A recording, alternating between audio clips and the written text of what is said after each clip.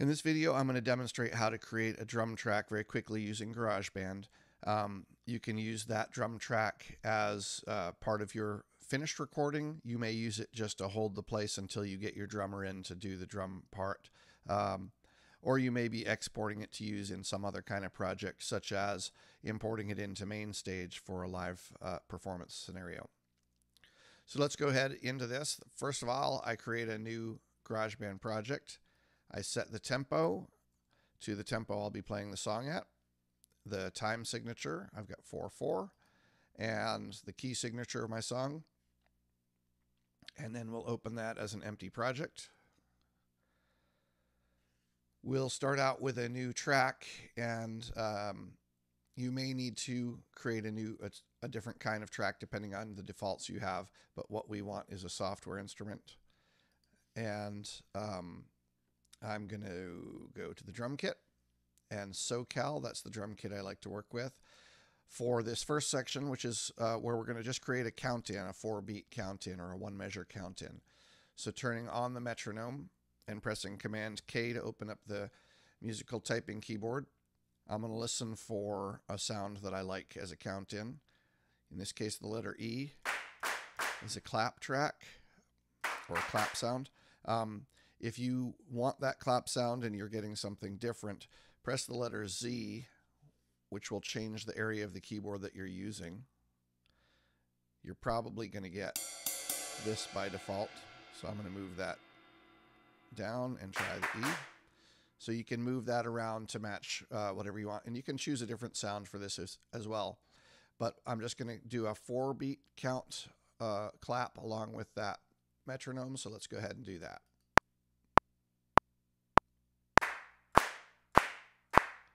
Good. That's four beats. I'm going to close the musical typing, Command K. And I am now going to open up my editor here. And if you look down at the um, the MIDI claps I've got here, they're slightly off. I'm going to choose time quantize and set that to the quarter note, and that will shift my claps to be more steady. So let's listen to that. That's what we should expect to hear. All right. Next thing we're going to do is we're going to create a new audio track um, or whatever instrument you're using. Um, but what we're going to do is we're going to actually record the song that we want to play to. This can just be a scratch track. It doesn't have to be finished. But what it does need to do is show exactly where the song begins, where the intro ends and the first verse begins, where the choruses are. You want to lay out the song exactly the way it's going to sound when you're done. So you'll create a new audio track or software instrument, depending what you use for that. Um, and then uh, I've already done that, so I'm going to just drag in my scratch track right here. And this lays out the arrangement of the song. So a quick listen to what this sounds like.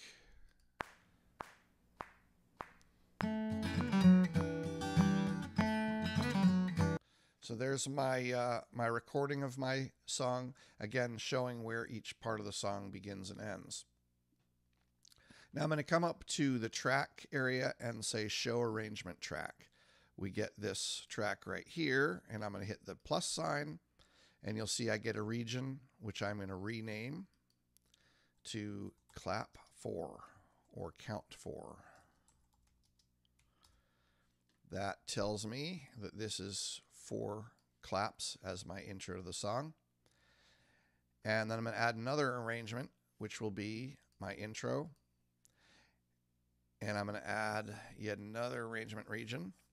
And this one will be my verse. That's good. And what I'm going to do is I'm going to listen to the song. And as we move through different sections of the song, I'll adjust this region area uh, to match the beginnings of each new region of the song. And I will also be adding in with this plus sign new regions as we go so that we can put in all the regions of the song. So let's uh, go back to the beginning and we'll just listen and set up these regions as necessary. There's my clap. Here's my intro. And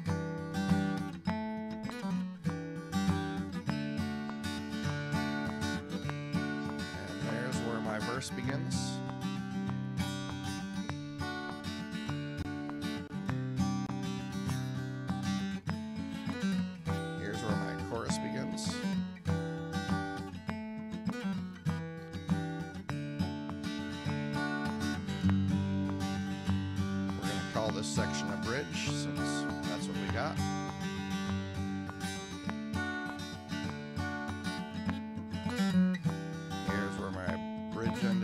Outro begins.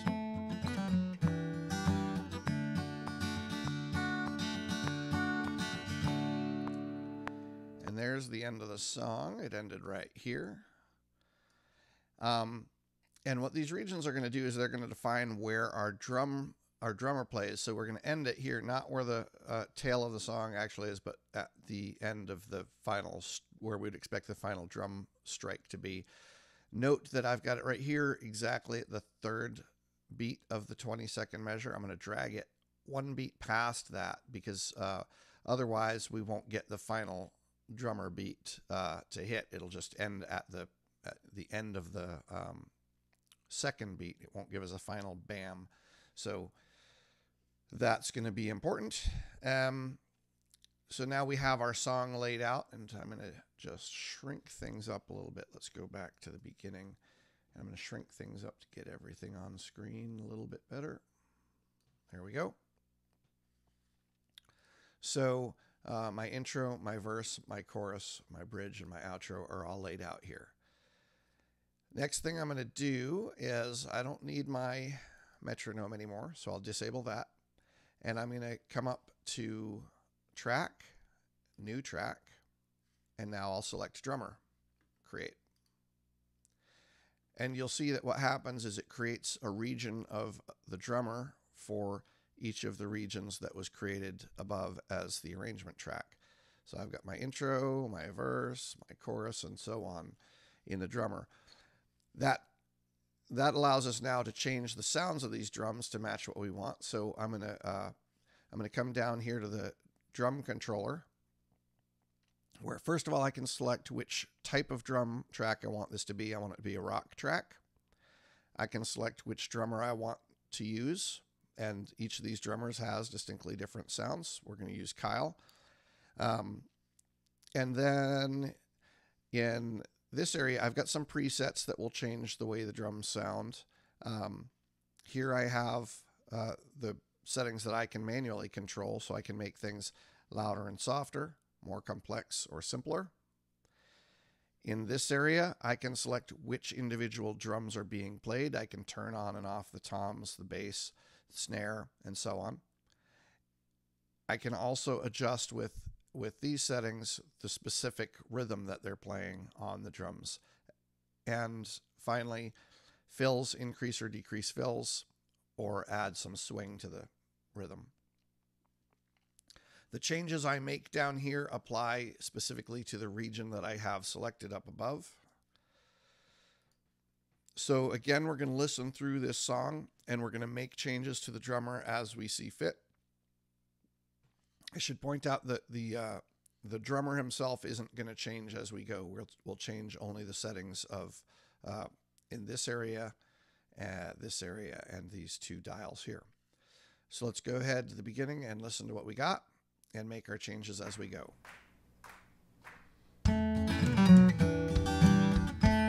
First of all, I want to turn down this guitar track, make it a little bit quieter. Keep in mind this is not a final mix here. This is just for the sake of getting our, our drummer sounding right. All right, so I'm going to turn on cycling and bring it to the intro section. And as we listen to this, we'll keep adjusting uh, until we're happy with it. So those toms are definitely far too weighty for this intro. Let's kill this bass drum as well and just turn on the hi-hat.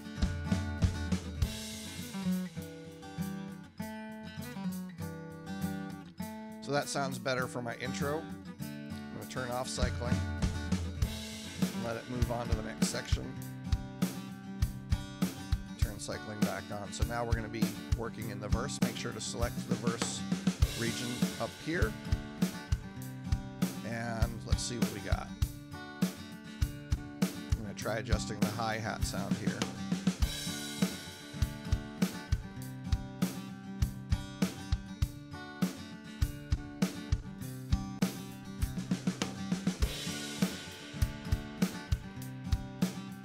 We'll go back to that original. Um, turn off cycling, let it move through to the next section. Turn cycling on and wrap that section. Select the chorus. I'm going to back off on this a little bit here on the chorus. But that's good. Turn off cycling. Let it roll through to the bridge. Cycle that area.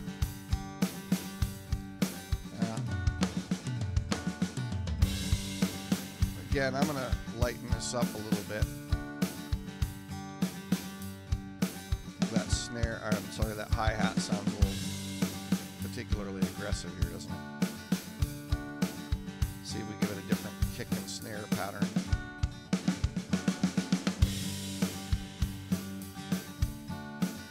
Okay, I'm good with that. We'll turn off cycling, let it roll through to the outro. Cycling. Now that's a ridiculous cymbal here. I'm going to leave the cymbals on, but I'm going to change the setting on them.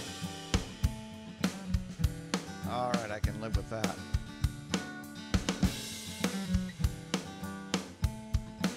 And let's call that uh, good. I'm going to turn off cycling and let it finish out.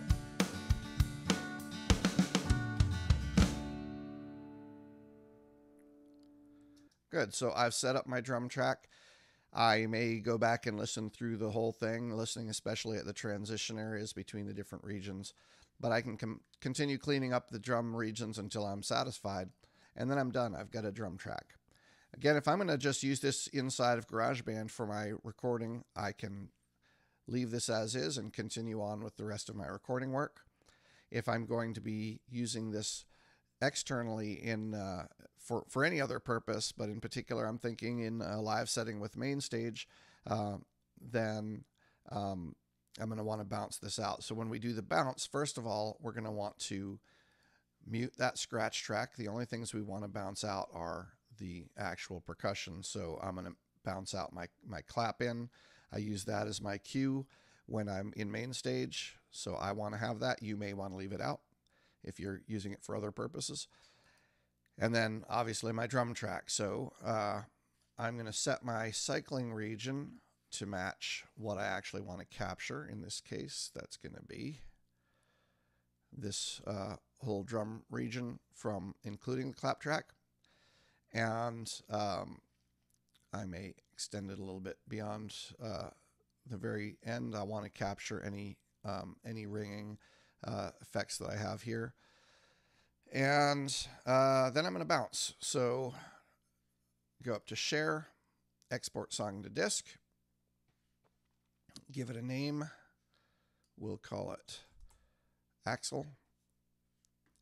Choose what format we want to export as and what quality we want to use. And then I'm going to select export cycle area. So that means the area that we just selected up here and then export. And we're done. I now have uh, a track that I can work with on my desktop called Axel. And if you're uh, if you're interested in seeing how you would use this in MainStage, I've got a link to my MainStage video showing how you can now import this track into MainStage and use it there for your live performances. I hope this has been helpful. If you have any questions, please leave them below in the comments, and I'll do my best to get back to you as quickly as I can. Thank you.